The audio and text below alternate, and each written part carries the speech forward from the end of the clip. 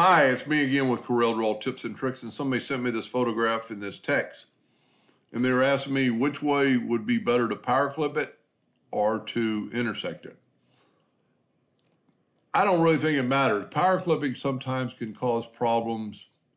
It doesn't always work. Uh, but this is going to be printed on a t-shirt with some other text. So the power clip will work. So grab your picture, go to object, power clip, place inside frame, and there you go.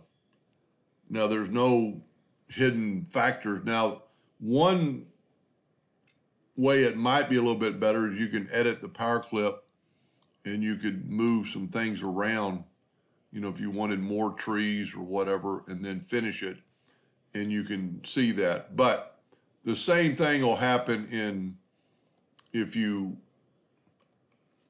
hit P and put it in the center of the page, and then you can move this around because you can see what you're going to do with the intersect tool and then select it all and go intersect and you've done the same thing. The, the one thing that's good about this, it leaves your text.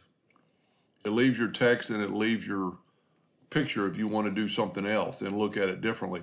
Another thing that might look good, depending on what color shirt you're printing this on, you could do one of two things. You could select your item, hold down your shift key and double select your rectangle tool, and then turn your rectangle yellow and go to object, order, back a page, and then take away your outline, and you get a totally different look. And you could actually play with that and um, give that yellow some different appeal to it, different colors.